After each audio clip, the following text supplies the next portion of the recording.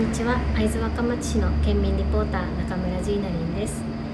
今回はラーメン屋さんのご紹介ということで、えー、昔から家族でよく行っているトンチンカンさんをご紹介したいと思います。トンチンカンではいつもこってりの背脂ラーメンを食べに行くんですけど今回は噂に聞いたあるラーメンが気になっています。ぜひリポートしてきてください。お願いします。会津若松市の県民リポーター中村さんが気になっているラーメンを出しているのがこちらのお店。とんちんかんです。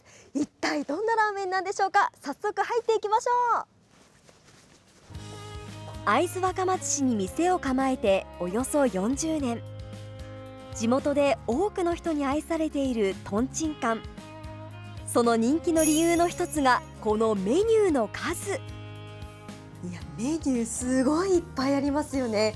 このトンチンカンではおよそ50種類のメニューを揃えてるんです。もう選ぶのに苦労するほどバラエティが豊富なんですよ。そんな数あるメニューの中でも人気で中村さんもいつも注文するのがこちらの味噌こってりラーメン。うわ背脂がたっぷり。これ豪快で贅沢ですね。これもキラキラ輝いてます。またこの味噌とニンニクの香り食欲引き立てられます。もう今すぐ食べたい。スープは豚ガラ鶏ガラの動物系スープと煮干しや昆布などで取った魚介系スープを合わせたダブルスープ。スープに合うようにご主人が選んだ上品な甘さが特徴の信州味噌を合わせます。お 背脂たっぷり。うわ輝いてる。いただきます。うわうわすごい。濃厚。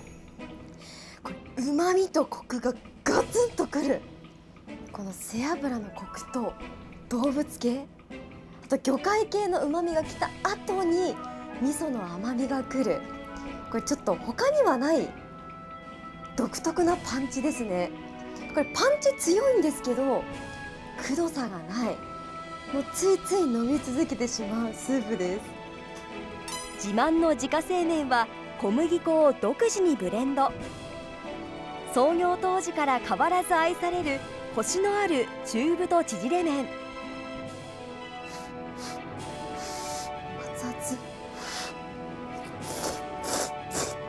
スープのパンチに負けないほど食べ応え抜群の麺ですね。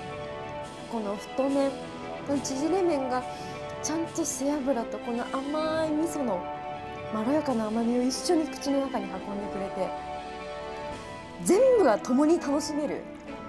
最高ですね。このスープにこの縮れ麺。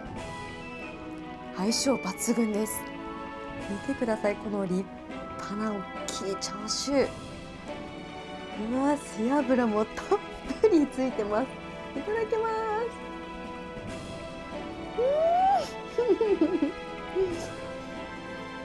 うん。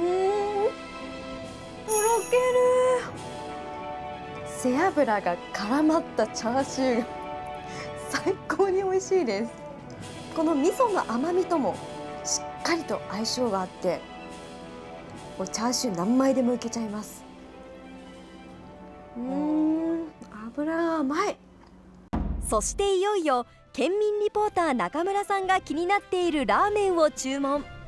こちらが県民リポーター中村さんが気になっていた噂の白べこラーメン。透き通る真っ白なスープが特徴の会津限定の一品。それもそのはず。会津若松市の方なら一度は飲んだことがあるでしょう。こちら。ベコの父の牛乳が使われているんです。ご存知でしたか？会津若麺会が会津の新たな名物として企画した白べこラーメン。そこに使うのは会津でおなじみのベコの父とんちんかん自慢のスープに特製の塩だれを合わせたらベコの父を投入。すっきりとしたベコの乳は塩味のスープに絶妙にマッチ。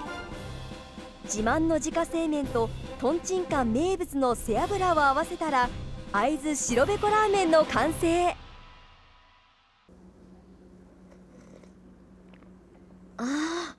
あまろやか。うん。あーこの背脂のコクとこのちょうどいい塩味がしっかりとマッチしてこのラーメンでしか味わえないこのコク。すごい。このべこの乳の牛乳のコクがしっかりとこの塩味とこのスープのコクを引き出してくれるしっかりといい仕事してますこの牛乳。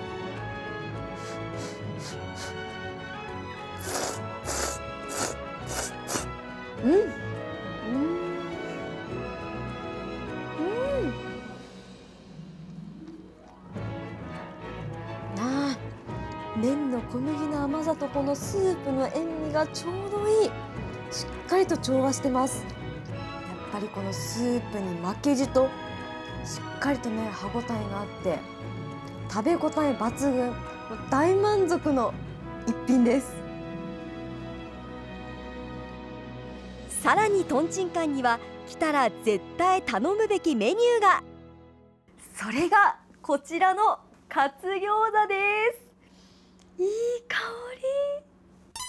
たくさんの野菜が入った特製の種をロース肉で巻きこんがり揚げたとんちんかんの大人気メニューカツ餃子。来た人のほとんどが注文するというほど人気で売り切れてしまうこともあるので来店する際は一度お問い合わせください。こちらのカツ餃子カツというのでソースをつけると思いきやなんとこちら。酢醤油をつけて食べるのがおすすめなんだそうです。じゃあ私も早速酢醤油で食べます。いただきます。お重たい。ぎっしり。餃子の具が詰まってます。酢醤油につけて。よいし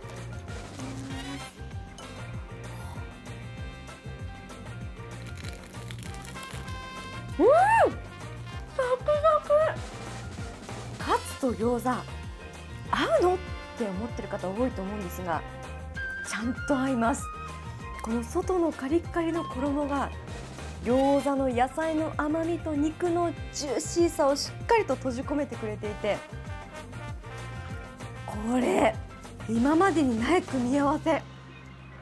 最高の味わい。